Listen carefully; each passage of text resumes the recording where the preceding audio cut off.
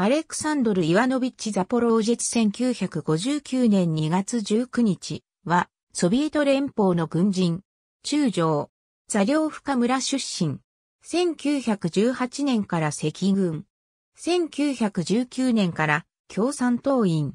ロシア内戦時、当初兵卒として、後に政治委員として南部戦線で戦った。1920年、政治課程を修了。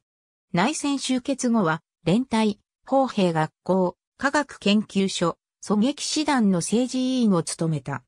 1935年、VI レーニン名称軍事政治アカデミーを卒業。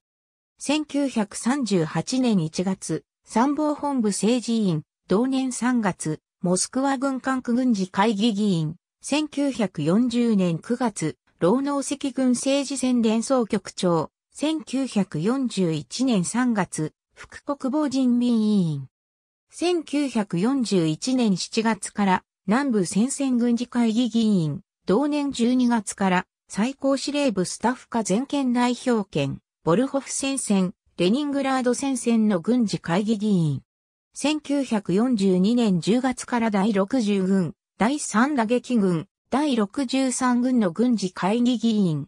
1944年2月から北カフカーズ軍管区、後にドン軍管区の軍事会議議員。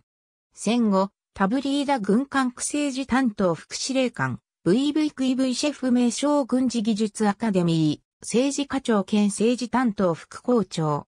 1956年、予備役編入。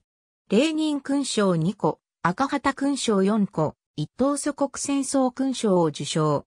ありがとうございます。